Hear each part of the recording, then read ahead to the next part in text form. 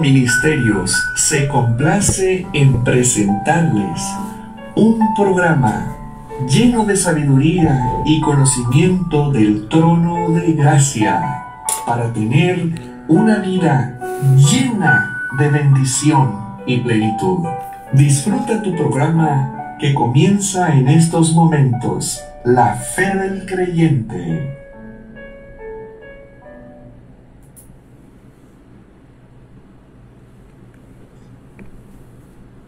Muy buenas tardes, mis amados hermanos. Muy, muy buenas tardes.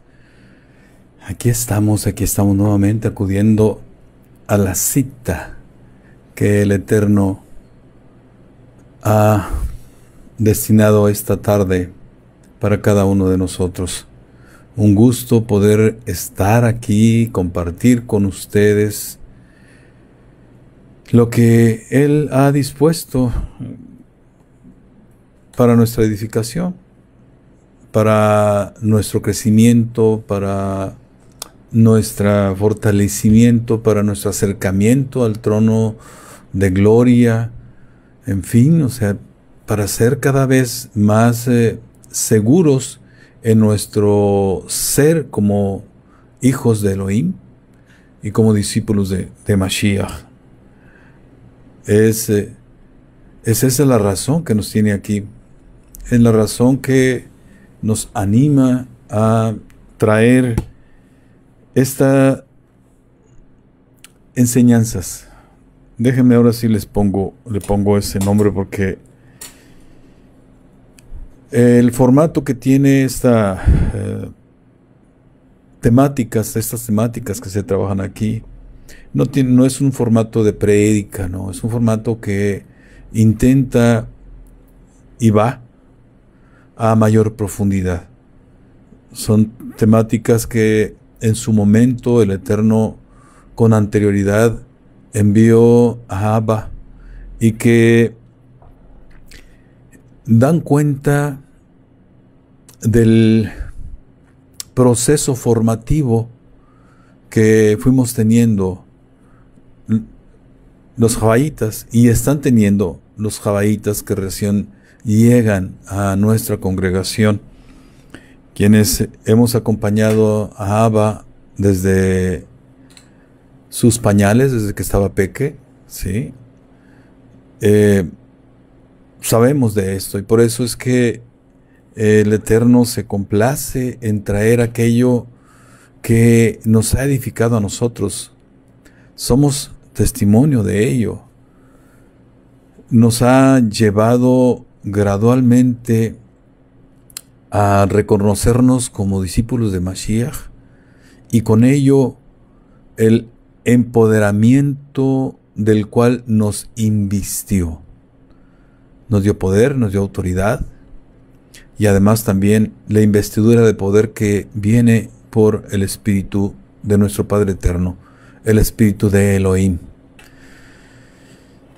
Entonces, de eso se trata, mis amados hermanos, eso es lo que nos tiene aquí y nos anima a cada uno de quienes estamos participando en diversas transmisiones. El mensaje central que se da en Shabbat se va desagregando en forma de enseñanza de, a través de otras opciones como es esta, la de la fe del creyente. Java Ministerios tiene para ti esos recursos para que tú puedas eh, fortalecerte, crecer, elevarte. Mira, para que Yeshua realmente cumpla en ti eh, la encomienda que trajo, la unción que trajo. La reconciliación con el Eterno es parte de su unción, es parte de su encomienda, es parte de su, de su tarea, de su chamba, ¿sí? Para que se cumpla también el que Él nos eleva al Creador.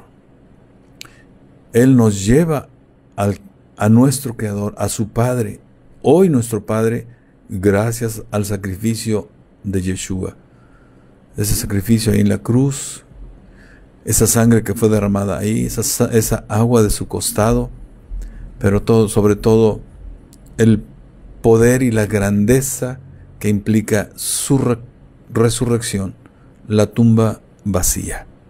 No es la cruz realmente la que habla del poder. Lo que habla del poder es precisamente su resurrección. ¿sí? Y además es promesa para nosotros también en Él. Entonces, eso es lo que nos tiene aquí, mis amados hermanos, y eso es lo que, lo que necesitas tú ir entendiendo poco a poco. Por eso el formato también de la enseñanza es llevado, primero es el Eterno quien dispone el ritmo, ¿sí?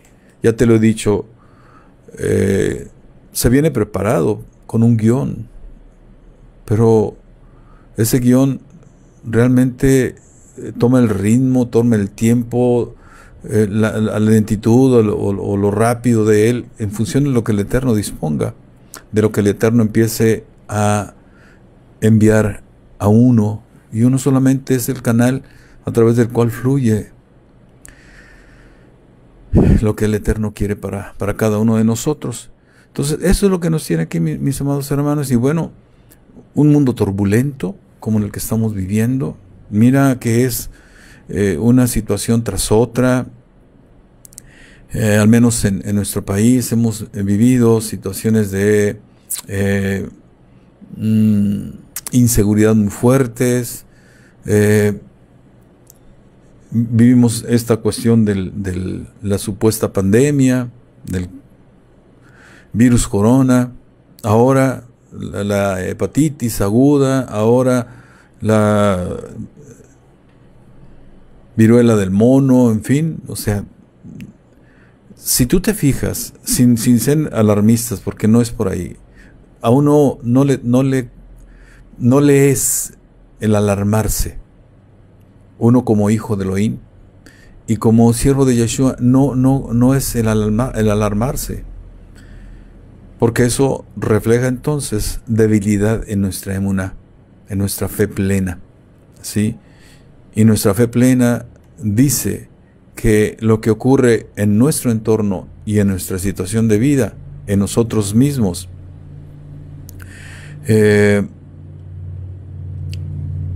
es voluntad del Eterno. Ya te lo he dicho, y esto es importante también que lo entiendas, porque esa es, esa es la fe que pregonaba Mashiach, la fe que predicaba Mashiach, la fe de la cual hablaba Mashiach. ¿sí? La voluntad del Eterno. Él lo dijo, yo no vine a ser más que la voluntad del que me envió. Ahí está, ¿sí? Ahí está esto que te estoy diciendo. Aunque sus enseñanzas realmente eh, no, no tuvieron tanta profundidad. Mira, te pongo, te pongo un ejemplo. En nada Ministerios hemos venido trabajando con la instrucción del Eterno, esa instrucción que trajo Mashiach, la Torah viva, Él, la Torah del Eterno. Se ha llevado gradualmente más de cinco años de hecho, el tiempo de vida que tiene que tiene Ministerios es el tiempo que se ha llevado el ir accediendo a la Torah, a la instrucción del Eterno. Imagínate, Mashiach solamente tuvo un tiempo activo de, su ministerio de tres, tres años aproximadamente. ¿sí? Y predicándole a los propios, es decir, al mismo pueblo de Israel, y también al pueblo no judío, en fin, o sea, en realidad la Torah lo he dicho y me queda a mí al menos muy claro que es insondable. Tiene tal profundidad la, la palabra del Eterno que no, esta vida no nos bastaría para poder abrevar en la profundidad que tiene. Sin embargo, cuando se habla del árbol de la vida en el mundo venidero, en la vida eterna, es precisamente aprender Torah, la instrucción del Eterno, de la propia boca de nuestro amado Mashiach. ¿sí? Y este mundo turbulento reclama de, de fe plena, de fe, una fe que no tenga duda de que todo lo que ocurre ocurre por voluntad de nuestro Elohim. Referencias, ¿qué referencias? Deuteronomio 28, del 1 al 14, lo que el corazón del Eterno quiere para ti. Del 15 hasta el final, lo que, lo que no quiere nuestro Padre Eterno, pero que sin embargo advertido estás de que si no optas por eh, la bendición, por la vida, entonces en consecuencia recibirás eso, aflicción. Estás advertido, o sea, y no es para asustarte. Nuestro Padre Eterno no asusta, Él pone las condiciones delante y tú decides si le entras o no le entras. El libre albedrío solamente tiene dos opciones. Acepto el gobierno del Eterno, acepto su voluntad en mi vida, acepto la voluntad de Mashiach, que es la voluntad del Eterno, o bien acepto la muerte, acepto la maldición, me hago amigo del mundo. ¿Sí? Eso es lo que, lo que está de fondo.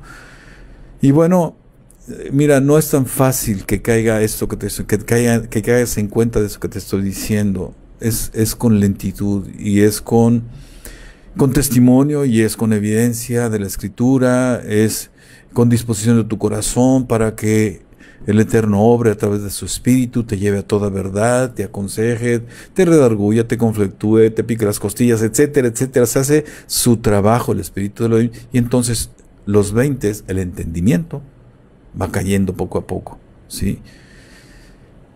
Entonces, ese es lo que nos, lo, que nos tiene aquí, mis, mis amados hermanos, ¿sí? Aquí para que ustedes vayan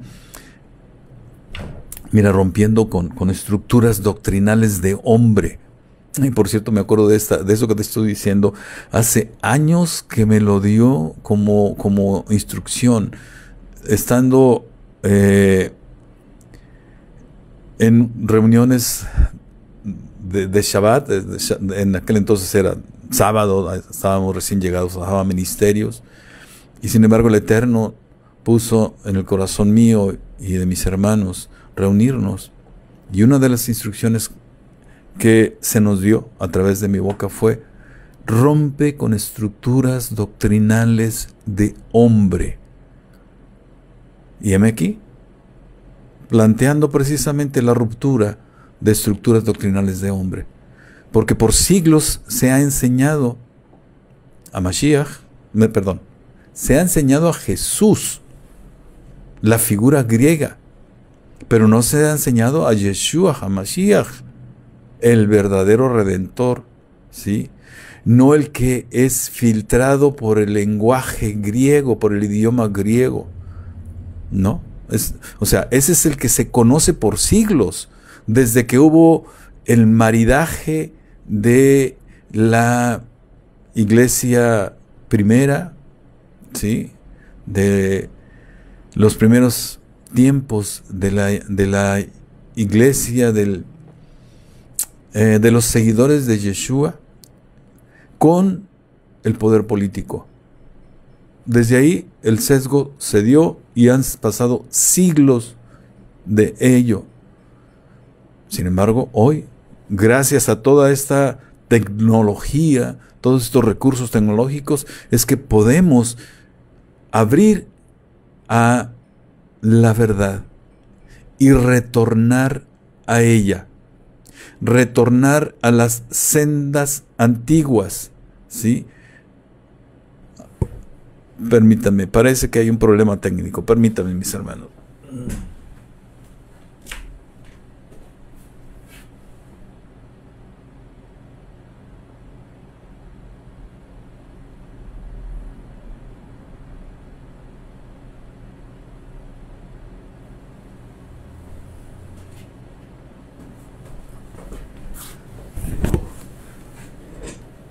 Muy bien, vamos a, proseguir con... Mm, vamos a ver si es un problema técnico.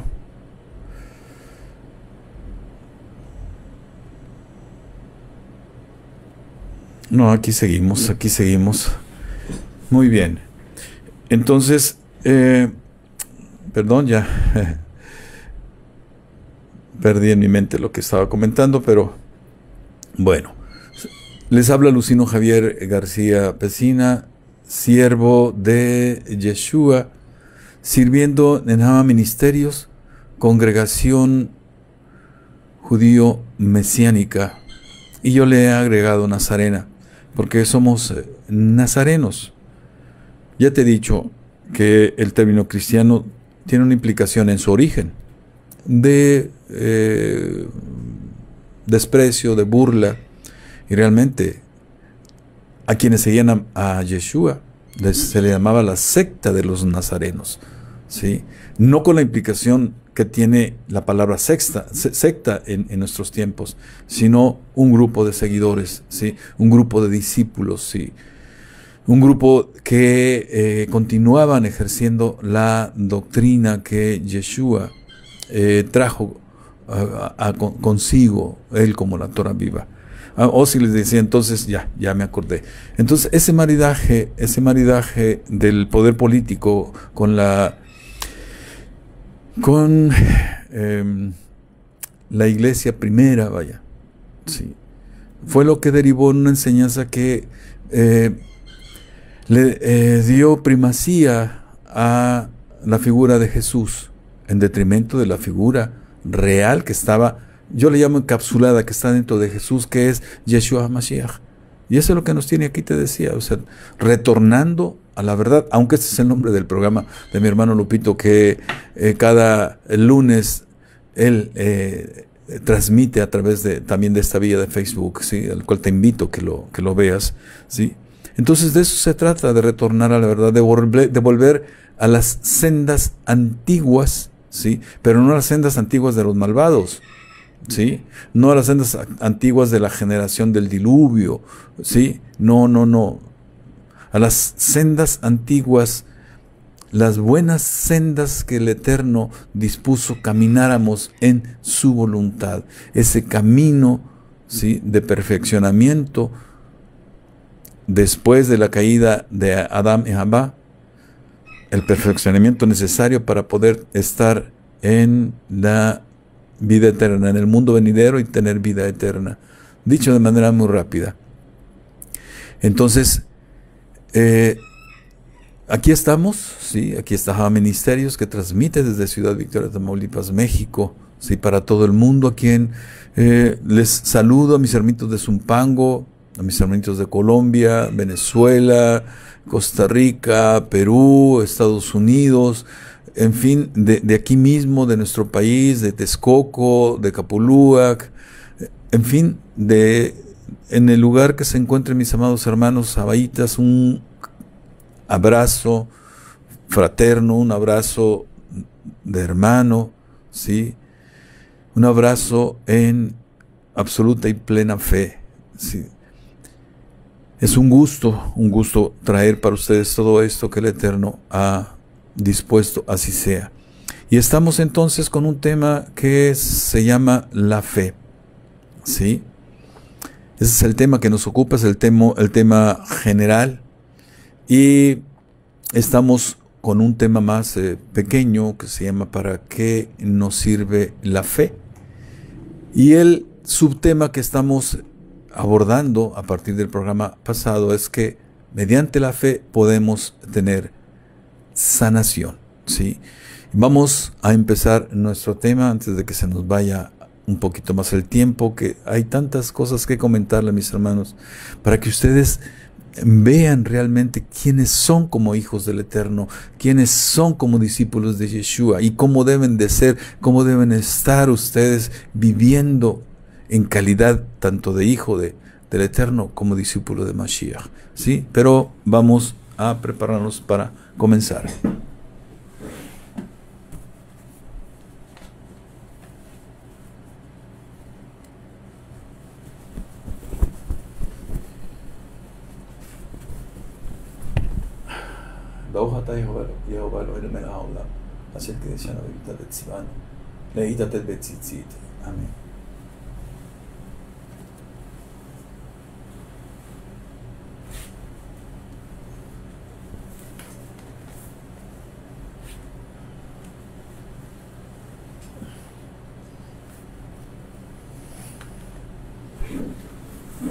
Muy bien, mis amados hermanos, comenzamos.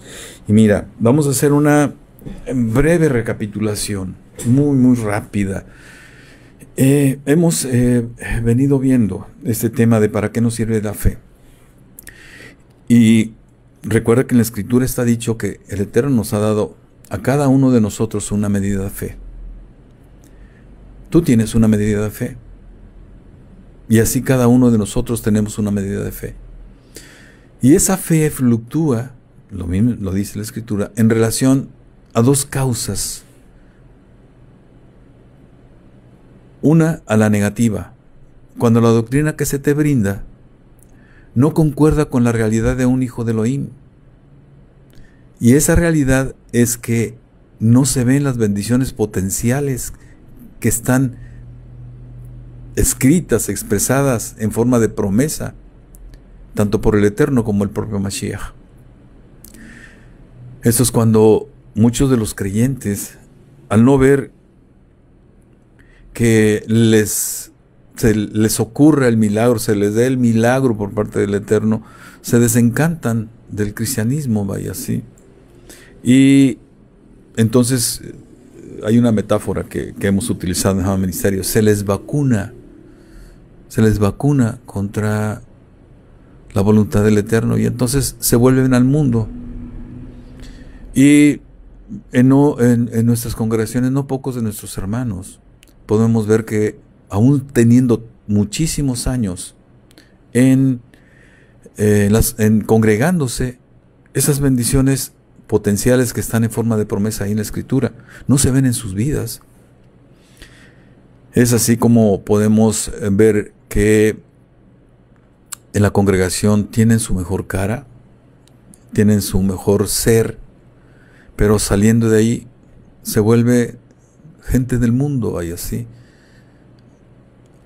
Y eso es un testimonio negativo. Entonces, quien te ve, ve ese testimonio negativo y dice, pues, ¿para qué me congrego? Están enfermos, están endeudados, están en problemas, no hay cambio, mira, porque de hecho lo he escuchado. ¿Para qué? Pues se sigue haciendo igual. ¿sí? Entonces, ese es cuando la fe fluctúa hacia la negativa, se debilita. Si es que esa dosis, esa dosis de fe que tú tienes, esa dosis de fe que tiene cualquiera, se debilita. ¿sí? Y la otra, la otra que es en sentido positivo, es cuando esa doctrina te lleva a que asumas el empoderamiento que Mashiach invistió en ti y también el que proviene del espíritu de Elohim. Lo que te llevaría, fíjate, a una cuestión importante, a pelear, a pelear por tus bendiciones. Y se ha enseñado, en, en mi experiencia, se ha enseñado como algo mágico, el ser creyente y el utilizar incluso el nombre de Yeshua. Sin embargo, hay condiciones para que podamos utilizar el nombre y podamos ser garantes de las bendiciones también. Condiciones que, el, mismo Yeshua deja ver en su, en su doctrina. Cuando tú las cumples es cuando viene la bendición, porque hay una máxima, la obediencia, la obediencia trae bendición. ¿Sí? El conocer al Eterno y servirle, obediencia, es causa de bendición. ¿Sí? Y la gracia es por la fe en, en nuestro Yeshua HaMashiach. ¿Sí? Es por la fe de Él también que nos hacemos garantes de vida eterna. Te lo estoy diciendo en los dos sentidos. La fe en Él y la fe de Él. Recuerda que ya trabajamos este tema en programas pasados. Entonces aquí, para romper con esa noción, retornando a la verdad, lo que te decía hace un rato, es que el propio Yeshua nos, nos dijo cómo ejercer ese empoderamiento.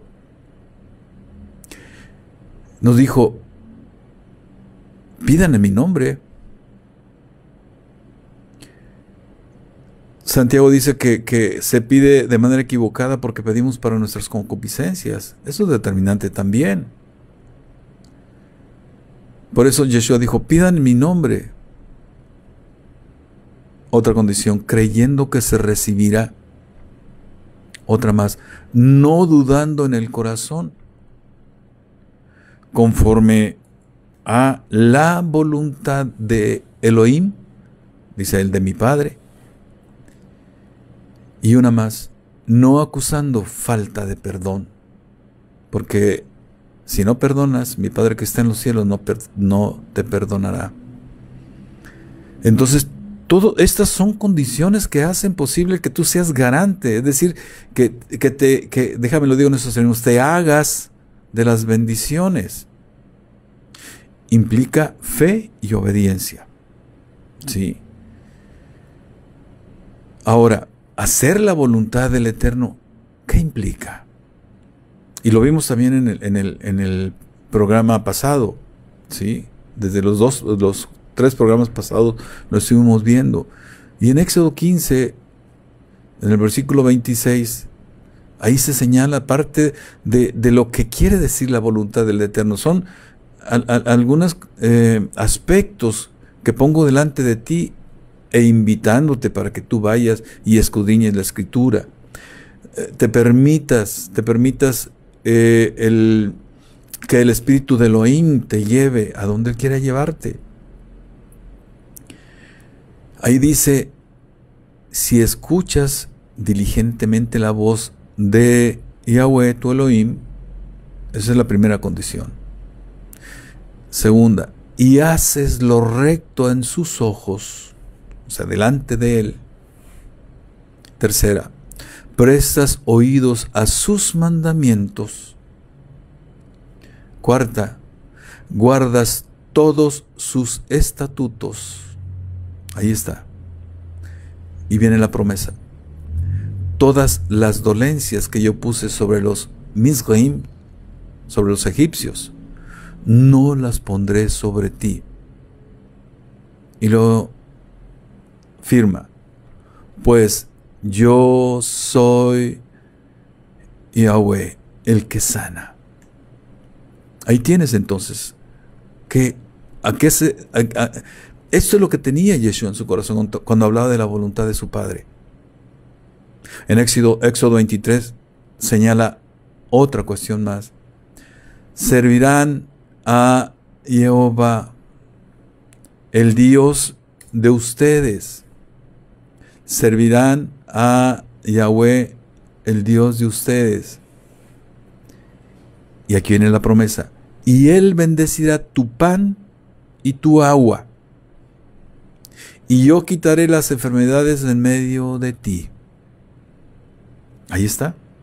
¿Sí? Eso es la voluntad de Elohim, servirle a Él. Y en consecuencia viene bendición bendecirá tu pan y tu agua. Su provisión llegará a ti puntualmente, llegará en tiempo y en forma.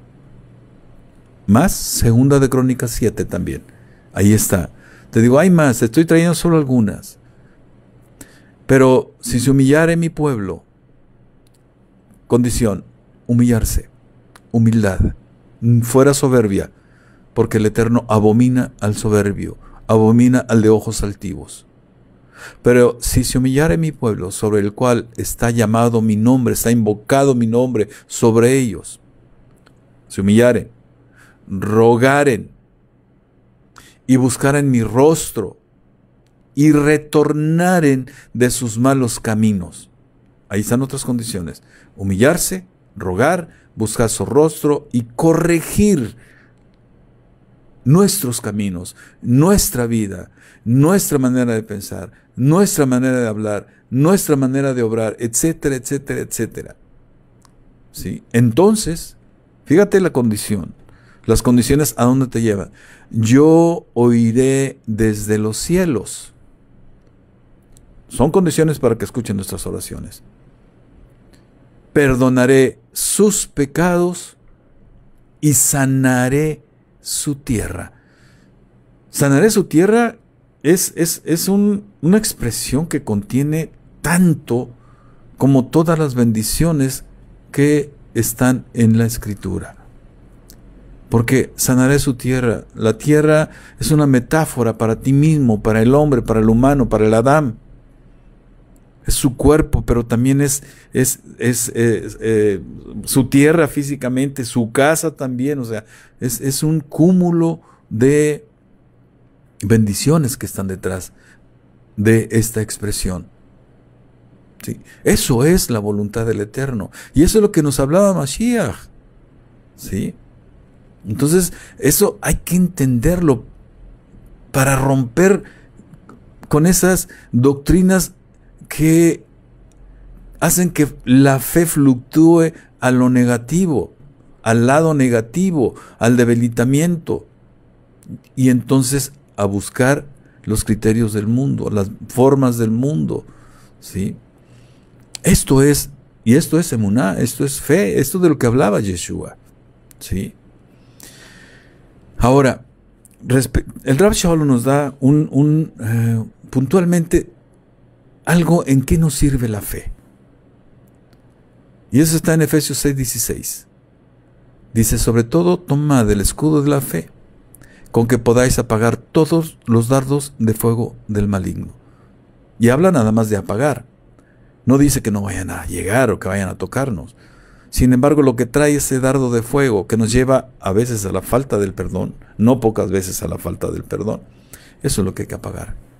Todo lo que provoca que tú te enemistes, tú te enojes, tú te entristezcas, tú caigas en depresión por causa de lo que el Satán hace a través de tu prójimo, porque nuestra lucha no es contra sangre y carne, sino contra todo lo que dice el Rav. ¿Te das cuenta, mi hermano? Por eso tienes que entender en, su justa perspectiva lo que el judío te enseña. Porque el judío te está hablando de Torah. Judío el judío te está hablando de la voluntad de nuestro Elohim, esa voluntad que está expresada en su escritura, para que vivas bien y para que te vaya bien. ¿Sí? Pudiste ver, pudiste escuchar que se, se, habla de sanidad, porque eso es lo que nos ocupa en, este, en esta temática, pero es necesario que veas un poco más, amplíes tu visión de, tu, comprensión, tu oído de, lo que implica hablar de la voluntad de Elohim. ¿sí? Ahora, Yeshua también nos dice, entre otras cuestiones, otra de las tareas que Asunción contenía era la sanidad. Yeshua también es fuente de sanidad. Y él, en Lucas 4:18, que es un, unos versículos tan, tan hablados, tan, tan predicados, ¿sí? que es necesario entenderlos y, ponerlos en su justa dimensión. El Espíritu del Señor está sobre mí, el Espíritu de Elohim está sobre mí, por cuanto me ha ungido, consagrado, destinado, preparado, etcétera, para dar buenas nuevas a los pobres. Me ha enviado a sanar, sanar, sanar a los quebrantados de corazón. Esos, sí, esos que por causa del fuego que llevan los dardos, el corazón fue quebrantado. Él promete ese tipo de sanidad. A pregonar libertad a los cautivos. Sí, a los que tienen cautividad, pero tienen la capacidad de poder decidir de entrarle o no entrarle. Y vista a los ciegos, sí, físicamente también sanidad, sí, a los ciegos, pero también abrir el entendimiento como lo hizo con sus discípulos antes de ser llevado al cielo, a poner en libertad a los oprimidos, aquellos que se les dificulta no pocas veces poder decidir, no pueden decidir, imagínate alguien que está con un grado de posición importante, que no puede decidir, a eso se refiere a los oprimidos, como los milagros que hizo, hablan de eso, esos son los oprimidos, aquellos que él liberó. ¿Te acuerdas de Legión?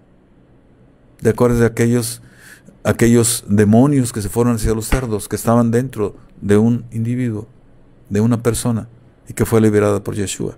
A eso se refiere. Sí.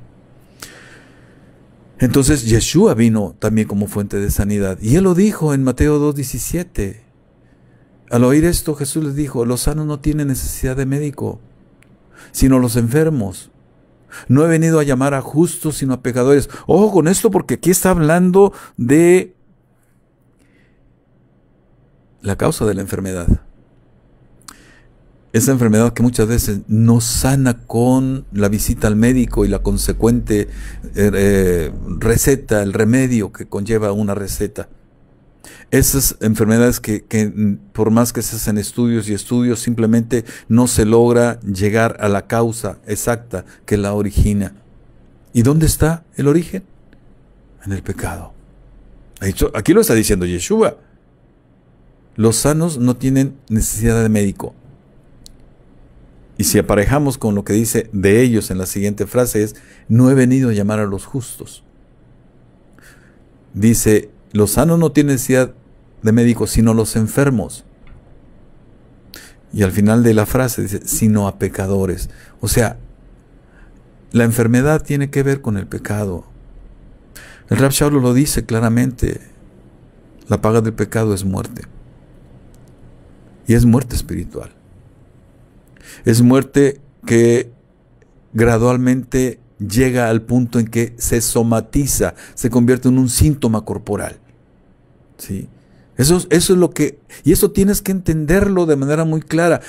¿Cuántas de tus afecciones tienen que ver con el tema de lo espiritual y con el tema del pecado, con el tema de la transgresión? ¿Sí? Cuando ya conoces la voluntad del Eterno, y aún a pesar de ello, tú haces lo contrario, entonces caes en la transgresión. ¿sí? Te conviertes en transgresor. Entonces, esto tiene que ver con la enfermedad que, que se acusa. Y, mira que, que, que Yeshua nos enseña no sé, o sea, de forma tan preciosa, aunque te digo, ese es el detalle que en, el lenguaje griego no, no hay, no hay una, una profundidad en su doctrina. Por eso es necesario volverse a Yeshua, volverse al judío, a ese judío muy especial que se llama Yeshua Mashiach, para ver su doctrina y de dónde provenía. ¿Y sabes de dónde provenía? De la Torah del Eterno. Él lo dice, lo dice muy claramente, ¿sí? Entonces, mis hermanos, esto necesitamos entenderlo. Ahora, él, él habló de la voluntad del Eterno. Él dijo siempre, nos llevó siempre y nos lleva siempre a la voluntad de nuestro Padre Eterno. ¿Sí? Simplemente, fíjate la condición, en Juan 1.12 nos dice, los que creen en su nombre se les da el derecho a ser hijos de Elohim. ¿Mm? Y el amor del Padre hacia el mundo se puede ver en que envió Yeshua a su único hijo. ¿Con cuál, ¿Con cuál motivo?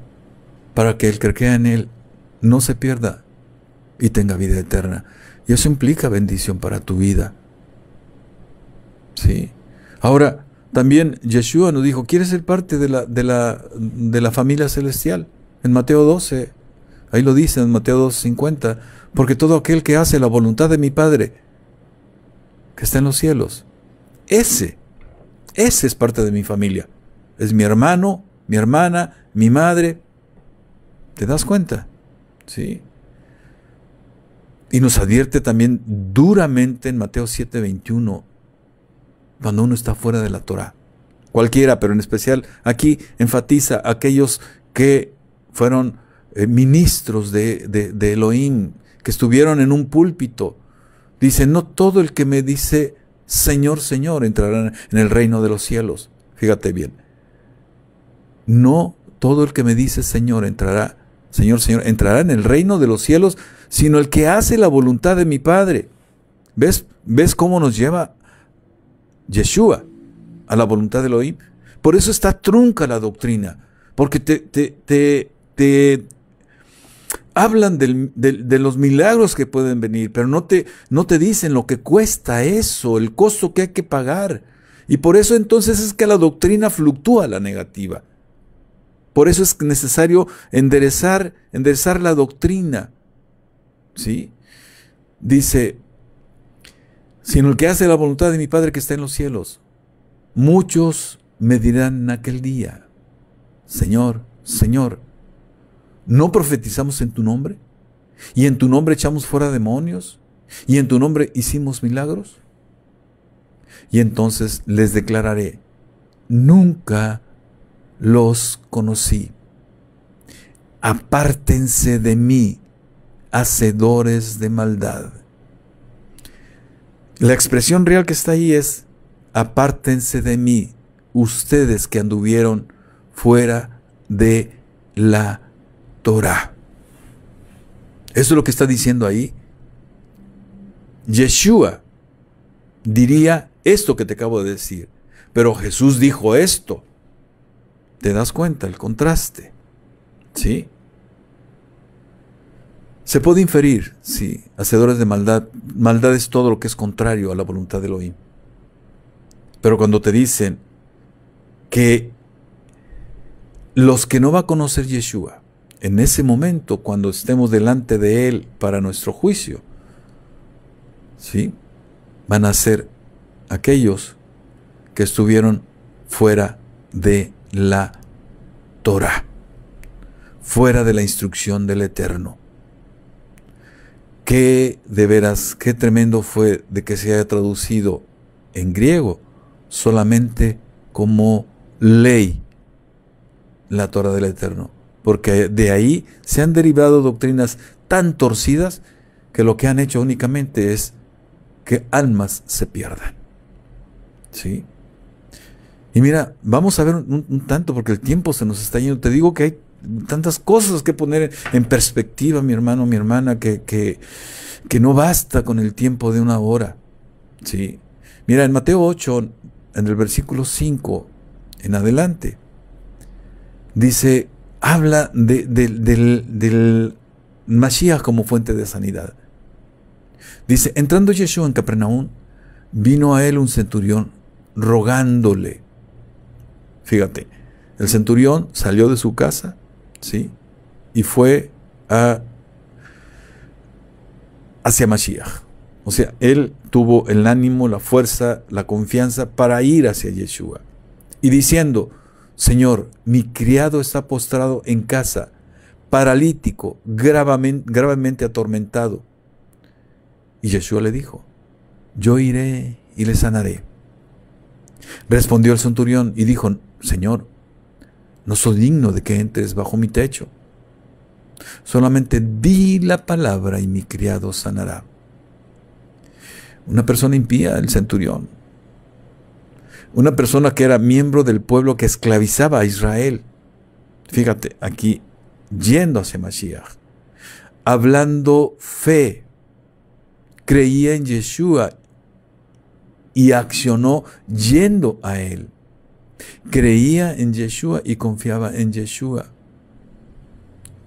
Sigue hablando el centurión.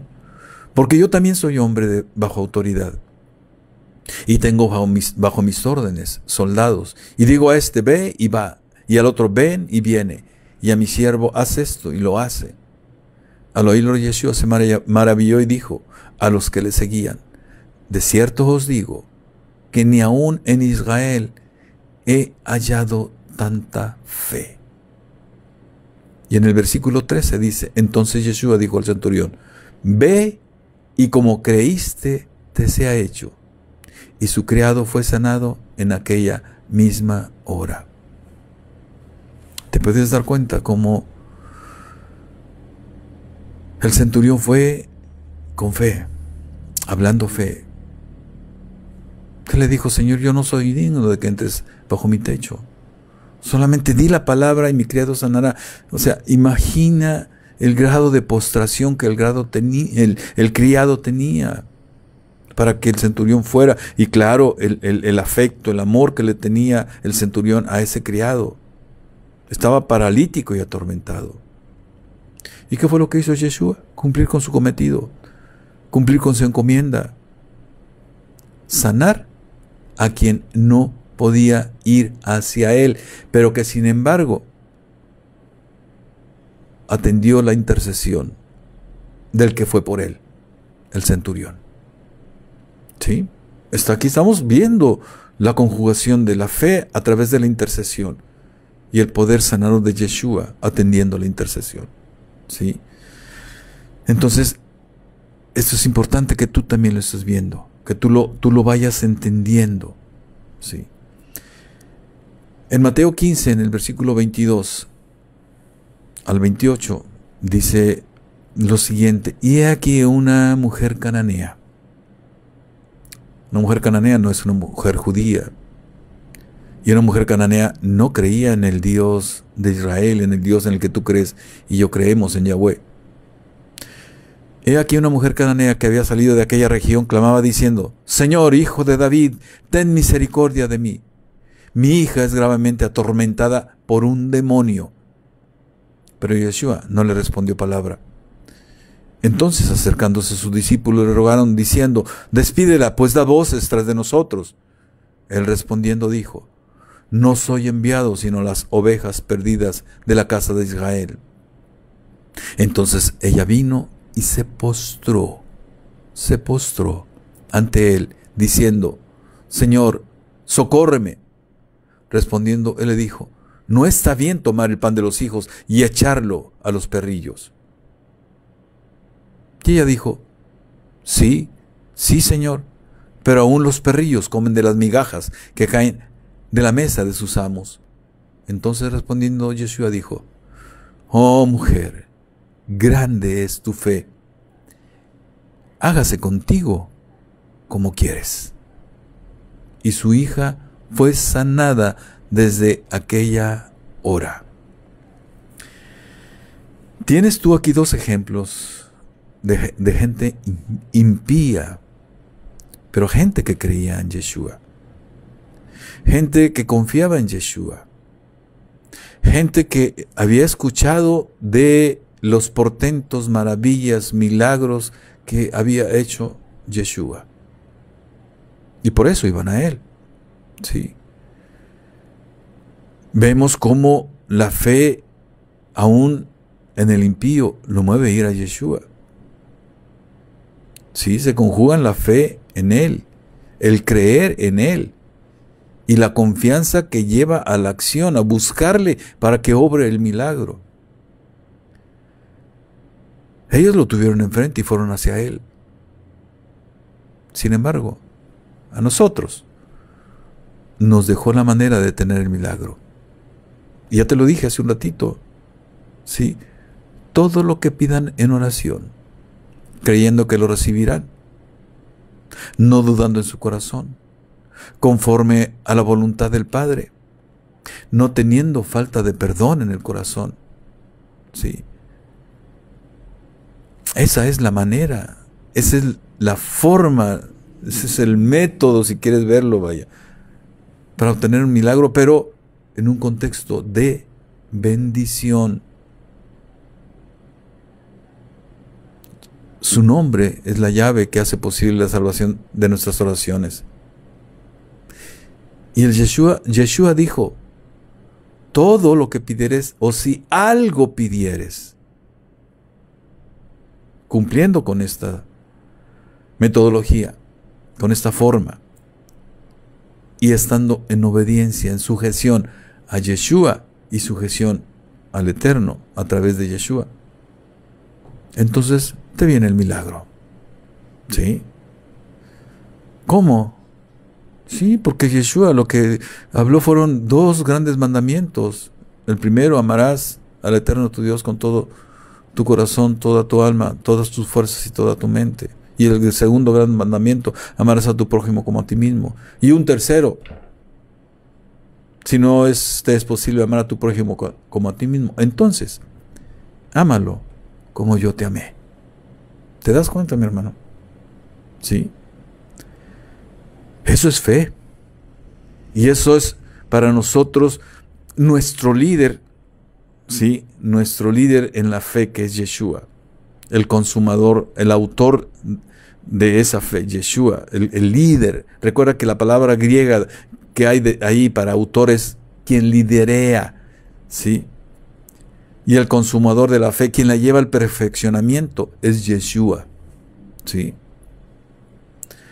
Entonces, ahí tienes, ahí tienes la manera en que Yeshua sana, como es fuente de sanidad. En Marcos 5, versículo 2 al 13, nuevamente vuelve a hablar esa, mm, este relato biográfico de Yeshua que se expresa en, en Marcos 5 también habla de sanidad. Y cuando salió él de la barca, enseguida vino a su encuentro de los sepulcros un hombre con un espíritu inmundo que tenía su morada en los sepulcros y nadie podía atarle ni aun con cadenas porque muchas veces había, sido atado con grillos y cadenas, mas las cadenas habían sido hechas pedazos por él y desmenuzados los grillos. Y nadie, los podía, nadie lo podía dominar. Y siempre, de día y de noche, andaba dando voces en los montes y en los sepulcros, e hiriéndose con piedras. Cuando vio pues a Yeshua de lejos, corrió y se arrodilló ante él, y clamando a gran voz dijo, ¿Qué tienes conmigo, Yeshua, hijo de Elohim altísimo? Te conjuro por Elohim que no me atormentes. Si logras ver, aquí es el demonio que poseía a ese hombre hablando a través de su boca. Continuó, versículo 8, porque le decía, sal de este hombre, espíritu inmundo. Y le preguntó, ¿cómo te llamas? Y respondió diciendo, Legión me llamo porque somos muchos. Y le rogaba mucho que no los enviase fuera de aquella región. Estaba allí cerca del monte un gran hato de cerdos paciendo, y le rogaron todos los demonios diciendo, envíanos a los cerdos para que entremos en ellos. Y luego Yeshua les dio permiso. Y saliendo aquellos espíritus inmundos entraron en los cerdos, los cuales eran como dos mil, y el hato se precipitó en el mar por un despeñadero, y en el mar se ahogaron.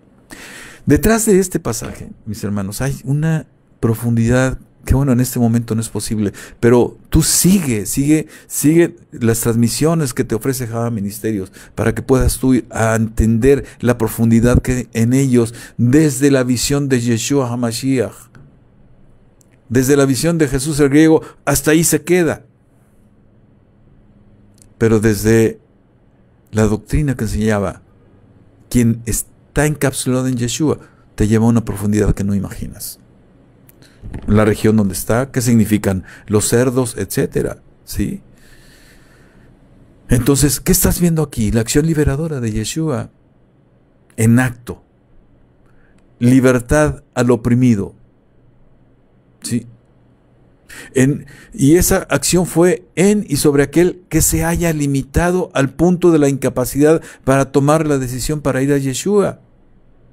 Mas fíjate, en un acto de lucidez pudo ir a su encuentro. Mas no pidió. Pero el celo hecho de accionar lo llevó a la liberación. Entonces, mi hermano, es necesario creer que Elohim es nuestro sanador y que Yeshua mismo nos puede dar salud. Nos puede sacar todas las enfermedades del alma, de nuestra mente y de nuestro cuerpo. Pero necesitamos de la fe. De la fe en Yeshua y de la fe de Yeshua. ¿Sí? Porque la fe en Yeshua y la fe de Yeshua nos llevan a la fe plena en nuestro Elohim, en nuestro Padre eterno, el Señor y Padre de nuestro amado Mashiach. ¿Sí? Date cuenta, mi hermano mi hermana. Nuestro Elohim nos promete sanidad. Ya te señalé las condiciones para ello, para sanar tu tierra, para no enviarte las enfermedades de Misraim, las de Egipto, para bendecir tu pan y tu agua, ¿sí? para bendecir tu casa, para bendecir eh, tu trabajo, etcétera, etcétera, ¿sí? Para darte sanidad. Y aquí tienes ahora al unigénito del Eterno que fue enviado en amor por el mundo para salvarlo, también como fuente de sanidad. Aquí lo tienes, lo tienes, mi hermano, mi hermana, ¿sí? Entonces, con la fe, podemos ser garantes de sanidad.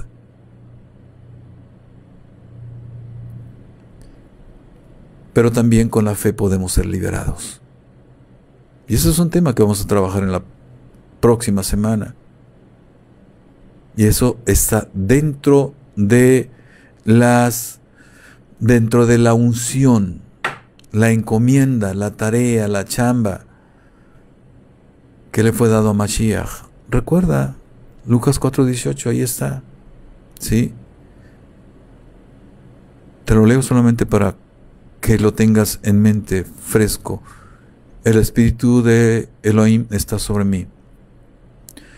Por cuanto me ha ungido para dar buenas nuevas a los pobres. Me ha enviado a sanar a los quebrantados de corazón, a pregonar libertad a los cautivos y vista a los ciegos, a poner en libertad a los oprimidos. Sí.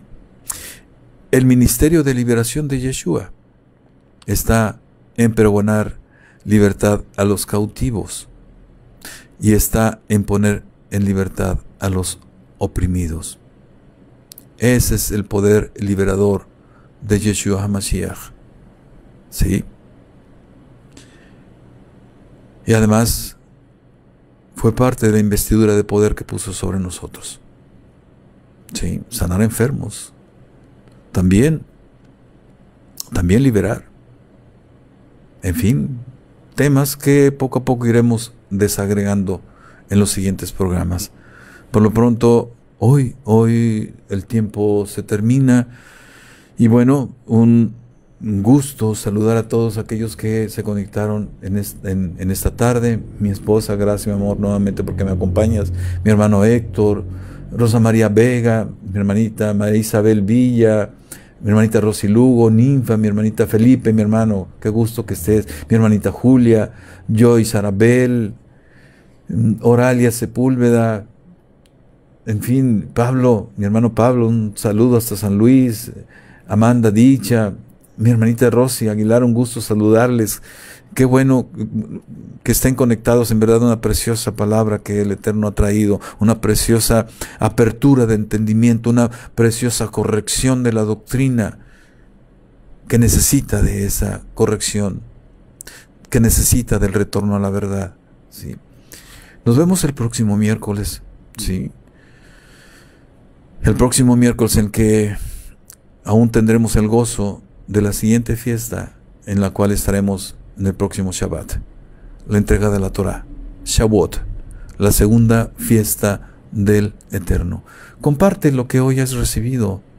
Y si quieres formar parte de Java Ministerios, aun cuando estés distante, declara tu intención, ¿sí?